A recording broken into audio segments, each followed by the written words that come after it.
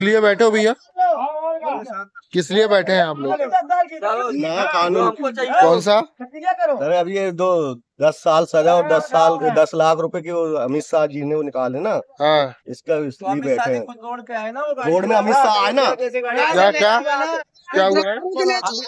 गाड़ी चलाए पता लगता है ट्रांसपोर्ट का काम कैसे होता है। भाई मेरा कहना है जो अभी गवर्नमेंट है ठीक हाँ।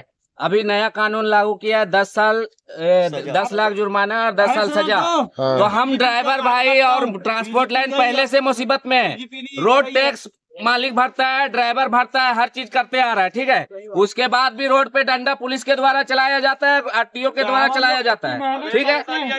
पैसा बेहिसाब लिया जाता है रात में आदमी दिन रात एक करके गाड़ी चलाता है परेशान करते हैं ठीक है? पुलिस उसके बाद भाई ड्राइवरी बोलने दो यार भैया।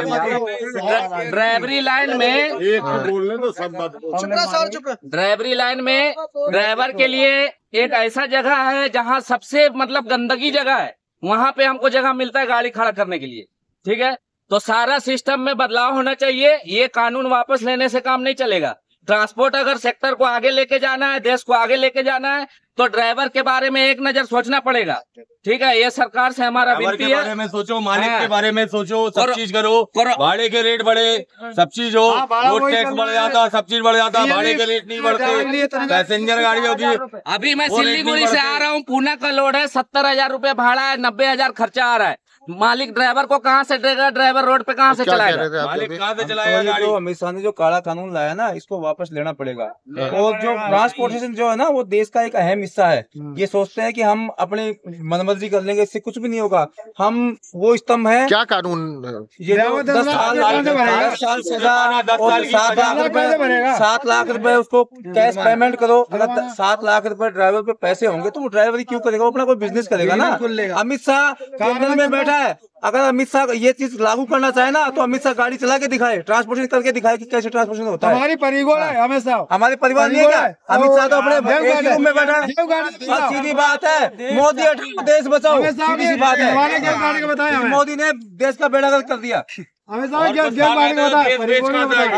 हाँ मोदी हटाओ देश बचाओ है। परसेंट गाड़ी से ही व्यवस्था चलती पूरी हमेशा देव गाड़ी को बताया परिवार पूरा। ये भूखे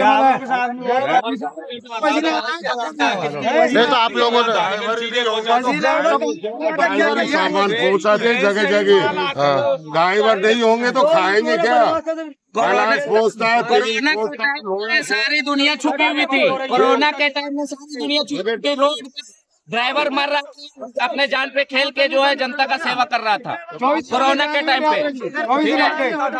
ड्राइवर की जान चौबीस और अभी पुलिस वाले ने होटल सारा बंद करा दिया ड्राइवर को मजबूर किया जा रहा है कि गाड़ी लेके निकालो। भूखा मरेगा तो अपने निकलेगा। ये क्या है? बताइए। खाने का साधन नहीं रहता तो ये ऑटोमेटिक हटाते गाड़ियाँ। डंडा मारते पैसे दो।